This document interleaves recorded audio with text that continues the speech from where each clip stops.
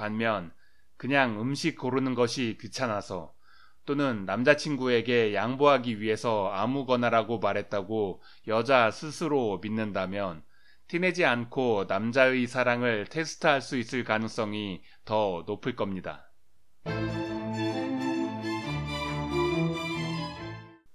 진화 심리학에서는 남녀 간의 사랑이 결혼을 통한 공동 육아를 위해 진화했다고 봅니다. 서로 깊이 사랑할수록 협동이 잘 이루어져서 공동 육아 사업이 잘 진행될 겁니다. 따라서 남자의 입장에서도 여자의 입장에서도 내가 마음에 두고 있는 이성이 나를 사랑하는지 여부를 알아내는 것이 사랑한다면 얼마나 사랑하는지 알아내는 것이 엄청나게 중요했을 겁니다.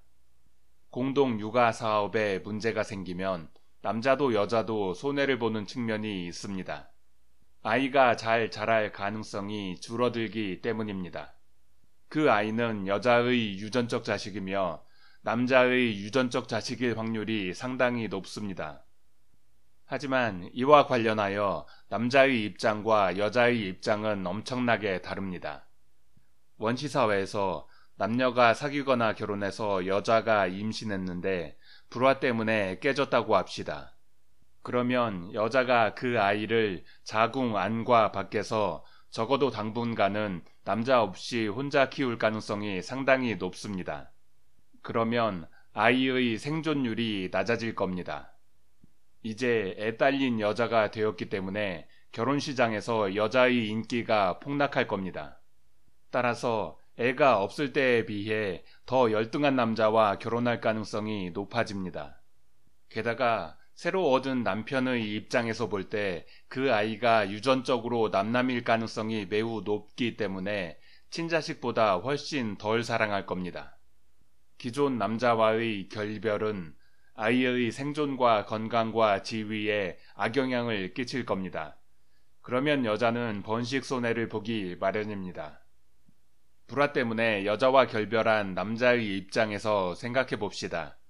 여자의 아이는 그 남자의 유전적 자식일 확률이 높습니다. 따라서 아이에게 문제가 생기면 남자의 번식에도 대체로 해롭습니다. 하지만 여기에서 가성비까지 고려해야 합니다. 결별 이후에 그 아이를 키우는 부담은 여자, 여자의 친족, 여자의 미래 남편이 남자 대신 짊어집니다. 결별하지 않았다고 가정할 때에 비해 아이의 사망률이 높아지고 어른이 될 때까지 생존하더라도 대체로 더 열등할 겁니다. 하지만 남자가 그 아이를 위해 투자한 것이 매우 빈약하다면 남자의 입장에서는 오히려 로또급 대박일 수도 있습니다. 소나타 새 차를 3천만 원에 사는 것과 10년 된 중고차를 200만 원에 사는 것을 비교해 봅시다. 차 자체만 비교하면 새 차가 훨씬 좋습니다. 하지만 중고차에 특별한 하자가 없다고 가정할 때 가성비를 따지면 중고차가 훨씬 좋습니다. 아이 자체만 보면 결별하지 않았다고 가정할 때가 대체로 더 좋겠지만 가성비까지 따지면 남자에게는 결별이 더 좋은 선택일 수도 있습니다. 남녀의 이해관계가 이렇게 엄청나게 다르기 때문에 상대가 나를 얼마나 사랑하는지 정확히 알아내는 것이 여자에게 훨씬 더 중요한 것 같습니다. 또한 사랑한다고 뻥쳐서 상대방을 속이는 능력이 남자에게 훨씬 더 중요한 것 같습니다. 저는 상대의 사랑을 확인하는 방면에서 여자가 남자보다 더 우월하도록 진화했으며 그런 것에 신경을 더 많이 쓰도록 진화했다고 추정합니다. 또한 사랑한다고 상대를 속이는 능력 면에서는 남자가 여자보다 더 우월하도록 진화했다고 추정합니다. 저는 남자가 자기 기만에 빠짐으로써, 즉, 자신이 실제로 여자를 깊이 사랑한다고 착각함으로써 여자를 속이도록 진화했다는 가설을 제시한 적 있습니다. 먹튀 전략을 쓰기 위해 사랑한다고 속이려는 남자와 진짜 사랑인지 알아내려는 여자 사이에 진화적 무기 경쟁이 벌어졌을 것 같습니다. 데이트를 할 때 어떤 음식점에서 어떤 음식을 먹을지를 두고 여자가 아무거나 라고 말할 때가 있습니다. 이때 남자가 여자의 말을 고지고대로 해석해서 정말로 아무거나 선택하거나 남자가 좋아하는 것만 선택한다면 어떨까요? 여자가 내색을 안 할 수는 있겠지만 남자에게 실망할 것 같습니다. 여자가 남자에게 실망한다면 앞으로 그 남자에게 쓰는 짝짓기 전략이 수정될 가능성이 있습니다. 아무거나라는 여자어는 남자의 사랑을 시험하는데 대단히 유용해 보입니다. 학생이 공부를 얼마나 잘하는지 테스트할 때 사지선다형 문제보다 논술 문제가 더 효과적인 것과 마찬가지인 것 같습니다. 이런 유용성 때문에 아무거나라는 여자어가 널리 활용되는지도 모릅니다.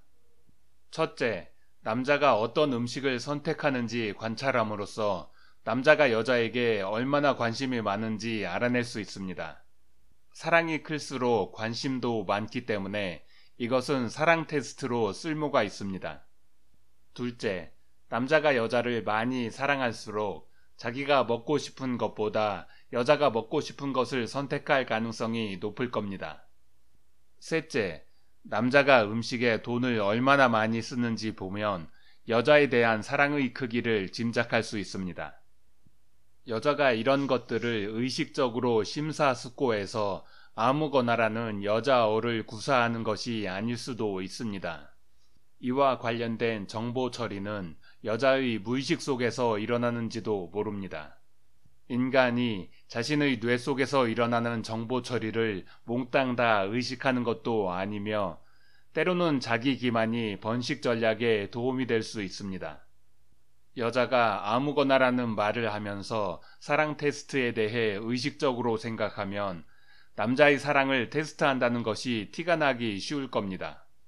반면 그냥 음식 고르는 것이 귀찮아서 또는 남자친구에게 양보하기 위해서 아무거나라고 말했다고 여자 스스로 믿는다면 티내지 않고 남자의 사랑을 테스트할 수 있을 가능성이 더 높을 겁니다.